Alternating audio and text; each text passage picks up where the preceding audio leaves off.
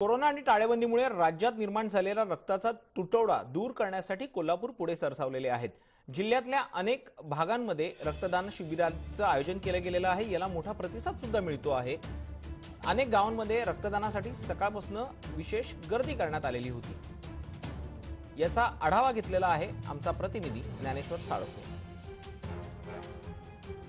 राज्यात सध्या रक्ताचा तुटवडा जाणवत आहे आणि हा तुटवडा दूर करण्यासाठी कोल्हापुरातल्या अनेक गावामध्ये सध्या रक्तदान शिबिरं मोठ्या प्रमाणात होते.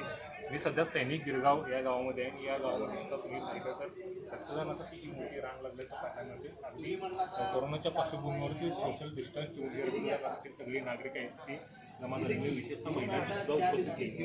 या ठिकाणी पाहायला मिळते त्या रक्ताचा तुटवडा दूर करण्यासाठी या गावानं पुढाकार घेतलेला आहे. आणि या गावाचं वैशिष्ट्य म्हणजे या गावात अनेक आजी माजी सैनिक आहेत. ते सीमेवरती निर्जड्या छातीनं देशसेवेसाठी लढत आहेत. आणि देशांतर्गत मात्र हे सगळे नागरिक आता देशाची सेवा करण्यासाठी पुढे आलेले आहेत. तुम्ही पाहिलं तर या ठिकाणी आतमध्ये एका मंदिरामध्ये रक्तदान शिबिर सुरू आहे आणि या ठिकाणी शासकीय रुग्णालयात या ठिकाणी कार्यरत आहे रुग्णालयाच्या मार्फत आहे सगळ्यांची वैद्यकीय तपासणी करून अगदी सॅनिटायझर देऊन अ, त्यांचं रक्तदान या ठिकाणी करून घेतलं जाते.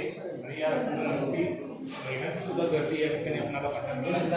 काही आपल्यासोबत आहेत. काय सांगाल अ, तुम्ही रक्तदानासाठी पुढे आले आहे? अ, आता ज्या मुख्यमंत्री साहेबांनी किंवा पंतप्रधान साहेबांनी जे काही आपल्याला आवाहन केलं आहे त्यासाठी आम्ही प्रतिसाद देण्यासाठी इथं प्रदान करण्यासाठी आलेलो आहे.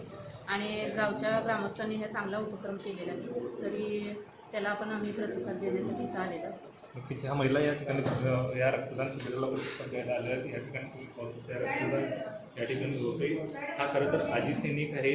आर्मीमधून थेट या ठिकाणी आता रक्तदान करण्यासाठी आलेले खरं तर त्या ठिकाणी तो देशसेवेसाठी लढत आणि या ठिकाणी सुद्धा देशसेवा रक्तदान शिबिर या ठिकाणी या ठिकाणी काही ग्रामस्थ सुद्धा त्याचा सुद्धा आपण या ठिकाणी नेमकं या रक्तदान शिबिराचा हेतू काय होता काय नेमकं तुम्हाला वाटलं हे रक्तदान शिबिर घेताना? सध्या कोरोनाचा जास्तीत जास्त प्रभाव चालू आहे आणि त्यासाठी पेशंटना जास्तीत जास्त रक्ताची गरज गरज पडणार आहे. म्हणजे जे अतिदक्षतामध्ये पेशंट आहेत त्यांना जास्त रक्ताची गरज आहे. त्यामुळे आम्ही गिरगाव जर सैनिक गिरगावात आहे, देशाची सेवा करतो तसे आपण गिरगावहून गिरगाववरून काहीतरी लोकांची सेवा व्हावी. मुख्यमंत्री आणि पंतप्रधान यांच्या आव्हानाला आम्ही प्रतिसाद देऊन आम्ही हा पुरस्कार शिक्षण एवढ्या मोठ्याने सादर आयोजित करत आहे.